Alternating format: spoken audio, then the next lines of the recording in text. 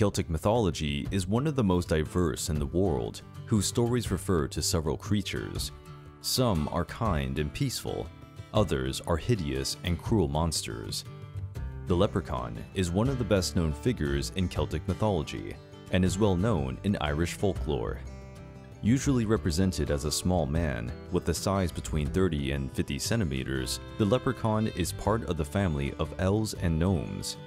He lives in the bushes or in small burrows made in the tree trunks of the forest, where he spends his days working on a single shoe.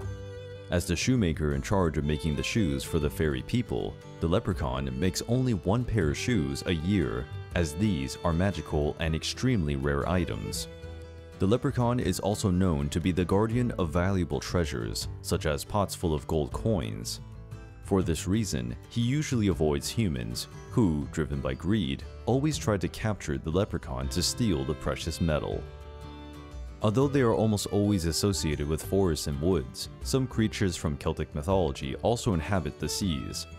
Selkies are humanoid beings that live in the sea, but differ from the traditional versions of mermaids found in other cultures. Selkies can assume the form of seals and return to their human appearance whenever they wish. To change shape, a Selkie only needs to swim to shore.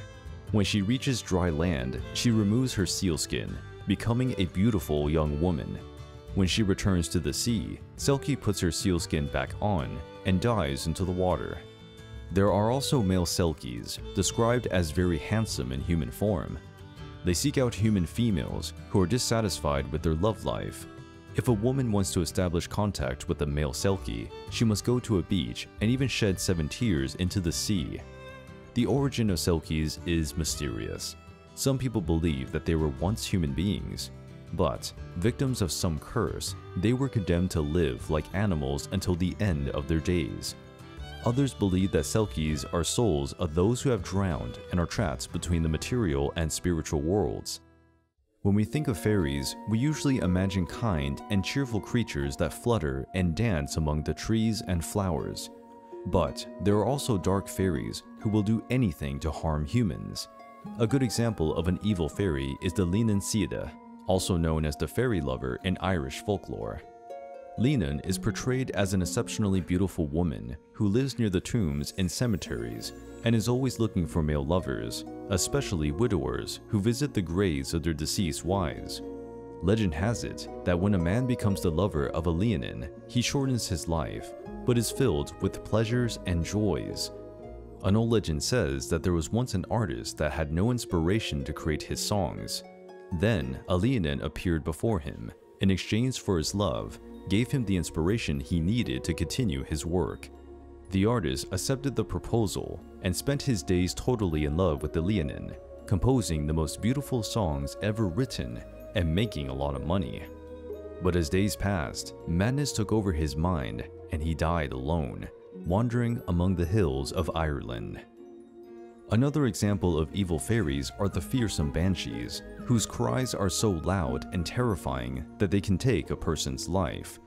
Banshees live in the dark regions of forests and are often found in graveyards, where they wander among the graves, shedding tears of grief and resentment.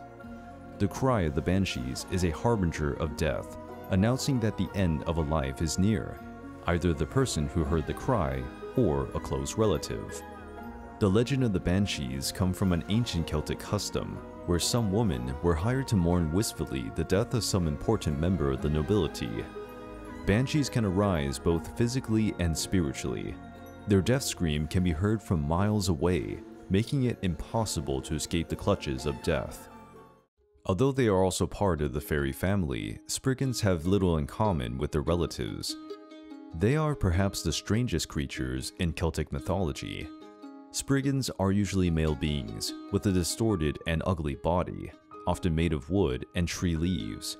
Although they are almost always small, Spriggans are considered ghosts of giants who, even though they inhabit a more fragile body, retain their enormous ancient strength. In some stories, they can grow enormously when they are angry, briefly regaining the full magnitude of their past as giants, Spriggans live in old castle ruins, where they guard buried treasures and love to do evil against those who offer them. They are blamed for episodes of bad luck, for stolen houses, collapsed buildings, or stolen cattle, for example. As was the case in many ancient cultures, the Celts believed in the existence of sacred and cursed places, which were often inhabited by man-eating creatures. Kelpies are spirit beings, found mainly in Scottish folklore. They live in the lochs and dark moors. Kelpies look like large horses with dark fur and a cadaverous appearance. They can assume a beautiful human form to lure people to the water, where they are suddenly attacked and devoured by the monsters. In some cases, kelpies take their victims into the water, devour them, and throw their entrails at the water's edge. Despite mentioning a dark and frightening creature, the legend of the kelpies was a warning to children and young people not to go alone to the lakes where they could have accidents and drown. With the arrival of Christianity in Scotland in the 6th century, folk beliefs were altered and the kelpies became associated with the figure of Satan, they began to be portrayed as a hybrid between a hoofed animal and a human body, like the god Pan from Greek mythology. Belief in the spirit world also influenced a considerable part of life in Celtic culture. People believed that the souls of the dead would be judged by the gods, and only the worthy could enter the other world. But if a person were despicable, cruel, and dishonored in life, he could be rejected by the gods and condemned to a life as a wandering spirit known as Sluagh. Present in Irish and Scottish folklore, the Sluagh were the souls of evil people who, even after death, maintained confrontational and destructive behavior. Since a single spirit does not represent a great danger, the Sluagh formed groups that moved like ghostly clouds, usually coming from the west. They would try to enter the houses of people dying to steal their souls and then add them to their melancholy cloud. For this reason, the windows of a house that were faced west were sometimes kept closed to keep potential victims of the Sluagh away. Another being that exists between the world of the living and the world of the dead is the cruel Abhartach, a vampire who rises from his grave to drink human blood. The ancient inhabitants of Ireland were afraid to go near the cemeteries at night, as they were sure that they would be attacked by Abhartach. Legend says that the Abhartach had been a dangerous dwarf, connoisseur of powerful magic, and someone who loved to do mischief wherever he went. Tired of seeing his people suffer, a tribal chief, who was also a great warrior, killed the dwarf. He was buried vertically, but the next day he reappeared as a vampire, more powerful than ever. The tribal chief killed him a second time, but the dwarf came back to life again. Finally, a wise druid told the warrior to kill him a third time and bury the body upside down, ending the monster's existence. Something interesting about this legend is that there is actually a place known as the Giant's Grave in Ireland, where the locals believe Abhartach is buried to this day. As the Middle Ages approached, many Celtic legends were adapted and included in medieval tales, the questing beast is a monster that appears in the King Arthur legends, with origins in Galician Portuguese folklore, which in turn had many influences from Celtic folklore. The bestial creature was the fruit of a forbidden love between a princess and a demon. Therefore, its very existence was evil and harmful to the world. Similar to the griffins of Greek and Asian mythology, the questing beast is a hybrid of several animals, with deer feet, lion's tail, leopard's body, and snake's head. As the fruit of an evil relationship, the questing beast could only be killed by a knight of the Holy Grail. His end came in an epic fight against the knight Palamedes, who is part of the medieval legend of Tristan and Isolde.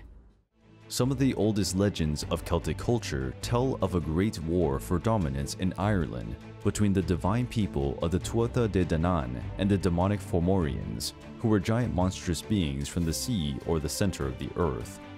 The greatest warrior of the Fomorians was the most powerful of his kind, known as Balor, the Evil Eye. Balor was a giant. According to different versions of the story, he could have one, two, or three eyes, one of them poisonous and incendiary. With unequal strength and a powerful magical eye, during battles, Balor would launch a jet of fire capable of melting and setting fire to everything in its path. Seemingly invincible, Balor was killed during a great battle where he faced the great god Lugh. Lugh, with a flaming spear, pierced Balor's eye, putting an end to his reign of terror. Celtic mythology is so vast in its stories that it continues to be studied and unraveled to this day. Much of its influence can be found in current literary and cinematic works.